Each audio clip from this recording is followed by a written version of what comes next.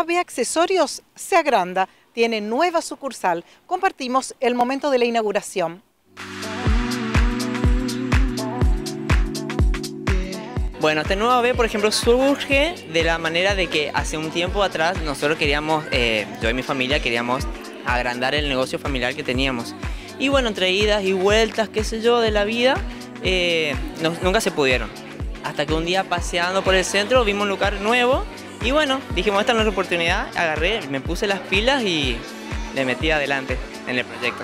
El otro AB continúa, este es un nuevo emprendimiento. Claro, el otro AB continúa como normalmente está. Lo que sí, este nuevo es un AB más eh, rejuvenecido, más remodelado, con una propuesta, digamos, distintas al otro, pero el otro sigue atendido por Adelina Bayer y este ya sería una onda más juvenil, digamos. ¿Qué vas a ofrecer? Quien cruce las puertas de este nuevo local, ¿con qué se encuentra? Y acá encontramos carteras, eh, accesorios así de, moda más, más, más modernos, más para la gente joven.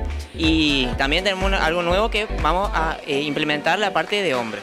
Así que encontramos accesorios de hombres, morrales, pulseras, corbatas. Y, y ahora que aprovechando el Día del Padre también tenemos nuevas novedades y regalitos para ellos también.